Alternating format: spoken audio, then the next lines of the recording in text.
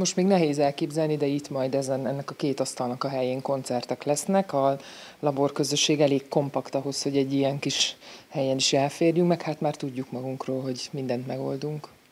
Bizakodva és tervekkel telemesélt Fekete Éva a Labor Café új helyszínén. Az adomány kávézó nemrég költözött, ezentúl a Betlen Gábor utca elején várja a látogatókat. Egy kemény elhatározás és anyagi okok indokolták a váltást, amelyben közel tíz önkéntes segített, így pár nap alatt lebonyolították a teljes berendezés áttelepítését. Fontos szempont volt, hogy frekventált helyen legyenek ezután is, és fenntartható maradjon a kávézó, amely csak a közösség erejével működhet. Számukban kifejezve ez annyit jelent, hogy meghirdettünk a közösségi oldalunkon egy olyan kezdeményezést október közepén, hogy olyan, olyan helyi magánszemélyeket és vállalkozókat keresünk, aki havi 5000 forinttal támogatnák a laborkafénak a fennmaradását és fenntartását.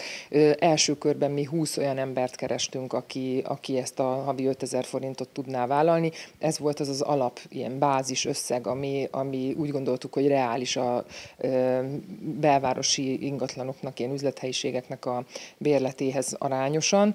Egy reálisan beállított összeg, de ezt, ezt meg is haladta a támogatóknak a közössége, ugyanis most már 27-en vannak, őket jótékonysági részvényeseknek nevezi a Laborcafé. Az új hely ugyan kisebb, mint a régi, az elosztása mégis több lehetőséget rejt magában a jövőbeli tervekhez. Az egyik legnagyobb ilyen terv, hogy egy franchise hálózatot alakítsanak ki. Ez attól működhet, hogy a Laborcafé alapvetően egy társadalmi vállalkozás.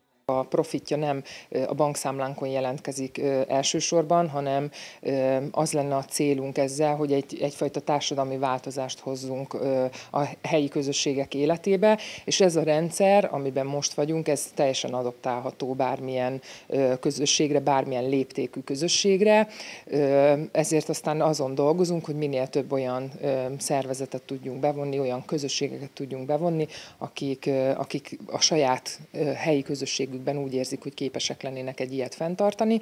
A mai napon is érkezik hozzánk egy érdeklődő csoport százhalombattáról, és hát nagyon reménykedünk, hogy, hogy egyre több, országszerte egyre több laborkafét sikerül majd nyitni.